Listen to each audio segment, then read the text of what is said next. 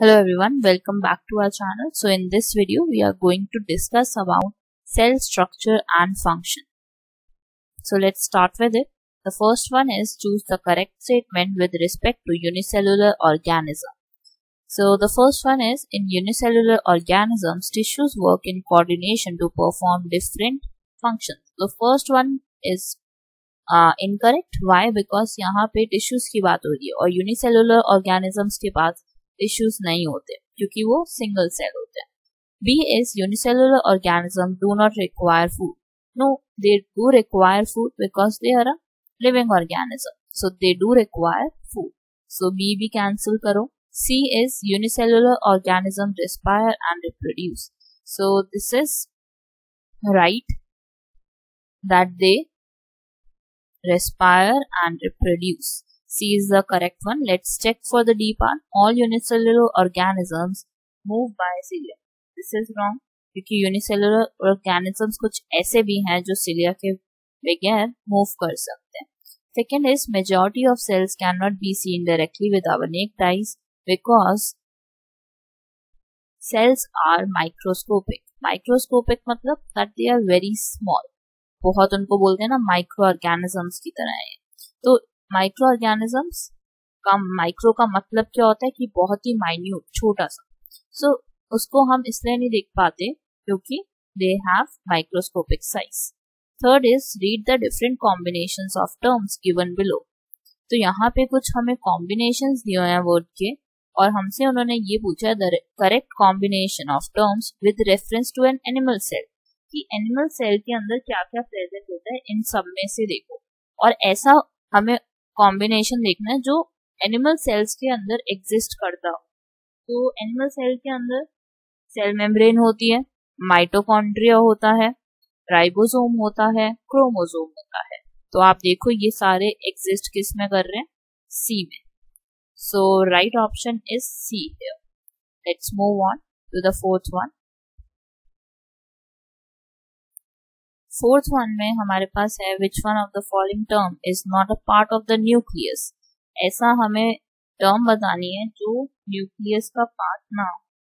So the first one is not a part of the nucleus that is ribosome ribosome हमारे nucleus का part नहीं है nucleolus है chromosome है gene है। Fifth is a suitable term for the various components of cell is मतलब various component जो cells के अंदर होते हैं, उसको हम क्या बोलते हैं?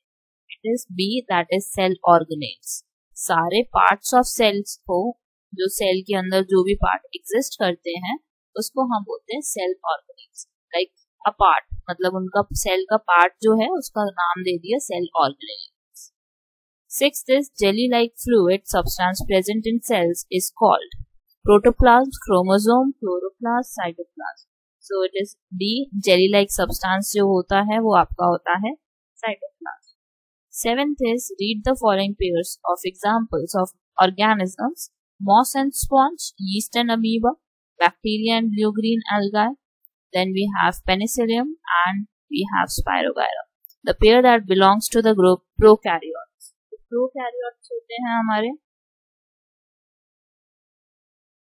Out of these all four में से आपका है see that is bacteria and blue green alga because they are prokaryotics here अब प्रोकैरियोटिक्स होता क्या that they do not have nucleus membrane and hence they are prokaryotic. So therefore bacteria and blue green algae is the right option for seventh part. Let's move on. Eighth part may read the following terms and select the pair that is related to inheritance of character मतलब ऐसा pair निकालना है जो inheritance पे inheritance पे काम करे। तो हमारे पास यहाँ पे क्रोमोसोम एंड जीन्स है। दैट इज़ पार्ट डी तो इनहेरिटेंस ऑफ़ जीन्स पे कौन काम करता है? Chromosome and genes ninth is choose the correct statement genes are located in the chromosome cell is located in the nucleus. Chromosomes are located in the nucleolus and D is cell membrane surrounds the nucleus. So option A is the right one because it says genes are located in the chromosome and this is right. Chromosomes के अंदर we have genes. Tenth is green color of leaves is due to the presence of presence of the pigment chlorophyll, ribosomes, mitochondria, chloroplast. It is because of chlorophyll. Chlorophyll के अंदर क्या होता है? It is a pigment और वो क्या करता है? Absorb sunlight. Next is 11th part. The unit of measurement used for expressing dimension of cells is centimetre millimetre micrometre and metre so dimension अगर आपको सेल्स की बतानी है तो उसके लिए सबसे राइट ऑप्शन है आपका माइक्रोमीटर क्योंकि अभी मैंने आपको बताया था दैट सेल्स आर माइक्रोस्कोपिक तो माइक्रोस्कोपिक का मतलब कि माइक्रो साइज़ होगा तो माइक्रोवेटर ध्यान रखना। Twelfth is the most important function of cell membrane is that it controls the entry and exit of material from cell controls only the entry of material into cell controls only the exit of materials from cell D is allows entry and exit of materials without any control so the right option out of these four is A part क्योंकि अगर cell membrane होता है हमारे cell के पास तो उसको क्या present करता है, सेल को सेपरेट करता है सराउंडिंग मीडियम से। अब जो प्लाज्मा मेम्ब्रेन होता है हमारा, वो बहुत ज़्यादा पोरस होता है। तो वो मूवमेंट को करता है सब्सटेंसेस की इनवर्ड और outward of the cell so it controls do controls the entry and exit of materials from cell thirteen S Paheli accidentally place her hand over a flame and immediately pull it back She felt the sensation of heat and reacted due to the action of blood cells, skin surface, nerve cells, nucleus of cells. तो यहाँ पे कौन उसको sensation बता रहा है और action लेने को बोल रहा है? इट इज़ नर्व सेल क्योंकि नर्व सेल्स क्या करते हैं? इंफॉर्मेशन प्रोवाइड कराते हैं ब्रेन को।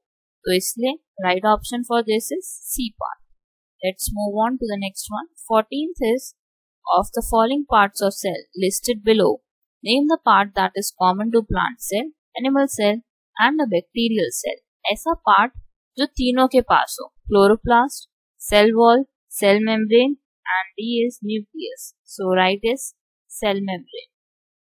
Plant cell के पास भी है एनिमल सेल के पास भी है एंड बैक्टीरियल सेल के पास The thread-like structures present in the nucleus are nucleolus, chromosomes, genes, ribosomes. So thread-like कौन से होते हैं? Chromosomes. 16 is identify the statement which is true for cells Cells can be easily seen with naked eyes. Insects, egg is not a cell. A single cell can perform all the functions in a unicellular organism. The size and shape of cells is uniform in multicellular organism. So right option is C part. A single cell can perform all the functions in a unicellular organism. सारे functions वो खुद ही कर सकता है और इसीलिए उसका नाम भी है unicellular organism uni means one let's move on to the next one 17 is which of the following is not a cell इनमें से आपको बताना है कि सेल कौन सा नहीं है तो सेल की कैटेगरी में वायरस नहीं आता bacterium is a cell RBC is a cell which is found in humans spermatozoa is a cell again which of the following feature will help you in distinguishing a plant cell from an animal cell तो cell wall क्योंकि cell wall एक additional layer है required by plants for protection तो protection के लिए क्या चाहिए अपने पास cell wall let's move on to the next one 19 under a microscopic microscope Paheli observes a cell that has a cell wall but no distinct nucleus. The cell that she observes is plant cell, animal cell, nerve cell, bacterial cell. So the right is bacterial cell क्योंकि bacterial cell ऐसा है इसका nucleus not well organise होता है मतलब organise नहीं है अच्छे से तो इसलिए right option is bacterial cell twenty is cheek cells do not have dash cell membrane nucleus golgi apparatus plastids so they don't have plastids क्योंकि plastids किस में प्रेजेंट होते हैं in plant cell plant cells में हमें मिलते हैं तो plastids cheek cells do not have plastids 21 is identify the correct statement Tissue is a group of dissimilar cells. An organ consists of similar cells. Vacuoles are not found in plant cells. Prokaryotes do not have nucleus. So the right option here is D that prokaryotes do not have a nucleus. उनके पास nucleus नहीं होता. Let's move on to the next one. 22 is which of the following statements are true for eukaryotic cells? They do not have a nuclear membrane. They have a well organized nucleus. They nucleus. They have a nuclear membrane. Blue and green algae are eukaryotic cells. तो right option यहाँ पे कौन सा है हमारा second भी सही है that they have a well organize nucleus third भी सही है that they have a nuclear membrane तो दोनों सही है हमारे लिए तो सेकेंड और थर्ड किसमें आता है बी वाले second and third twenty third is identify the correct statement about the cells. Cells, all the cells have nucleus. Cell of an organism have similar structure. Cell of a tissue have similar structure. Shape of all types of cell is round. तो यहाँ पे हमें correct statement बतानी थी तो cell of A tissue have similar structure this is right मतलब एक जो टिश्यू है, वो हमारा कॉमन सेल से बनेगा तो इसलिए उनका स्ट्रक्चर भी सेम होगा ट्वेंटी फोर्थ इज़ यहाँ पे हमें एक टेबल दिया हुआ है और उन्होंने हमें बोला है कि सेल है फ़र्स्ट में, फिर फीचर पार्ट है, फिर फ़ंक्शन है। तो हमें बताना है कि ए में कौन सा राइट ऑप्शन आएगा बी में कौन सा आएगा सी में कौन सा आएगा डी में कौन सा आएगा। तो पहली कैटेगरी देखो सी वाली। यहाँ पे हमें कैसे दिए हैं? सारे सेल दिए हैं। तो सी में हमारा सेल आना चाहिए और यहाँ पे देखो कौन सा टाइप है, उसका फीचर क्या है उस सेल का? स्पिंडल शेप कॉन्ट्रैक्शन होता है। स्पिंडल शेप किसका कॉन्ट्रैक्शन होता है? मसल सेल का। तो सी हमारा मसल सेल होना चाहिए। C must be muscle shell muscle shell cell sorry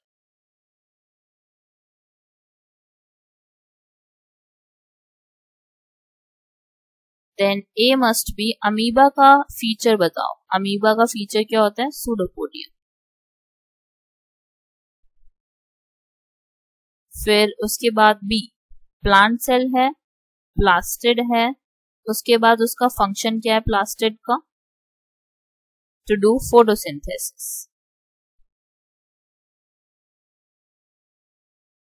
फिर उसके बाद आपका बचा है डी वाला।